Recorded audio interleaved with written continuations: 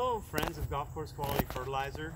Uh, I just ran across this and I felt the need to talk about it because people aren't really familiar with what this may be uh, in a home lawn. Um, and you notice this little burned out circle here. We can see like almost looks like somebody drove their car around while it was dry or something, but um, that's not the case of why this is a little browned out around the edges here in this circle. Um, the, the indicator, the key indicator is this guy here, these mushrooms popping up in this circular pattern right along with this burned out turf. And so this is actually a soil-borne fungus.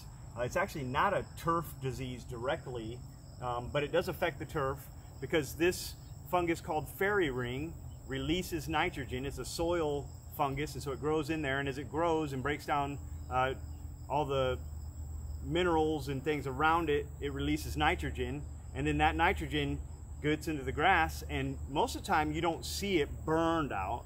Uh, you will in hot times of the year and things like that when the grass does not like to have extra nitrogen on it. You might see some burning out like we're seeing right here. Um, but most of the time you'll just see like a green circle when you see it. Uh, and it doesn't always have mushrooms with it, um, but if you see the mushrooms in a circle, then it's guaranteed that that's fairy ring.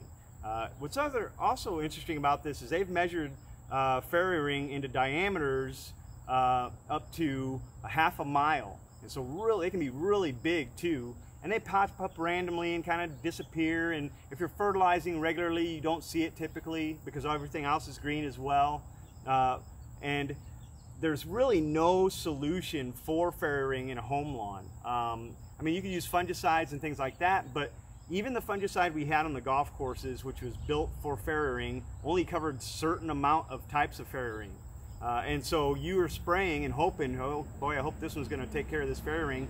And mainly we only do that on a green or something like that where it can affect the playing surface. And so um, in this situation here, you just kind of look at it and laugh and kick the mushrooms off and clean it up. And when we cool off, it'll be right back to normal.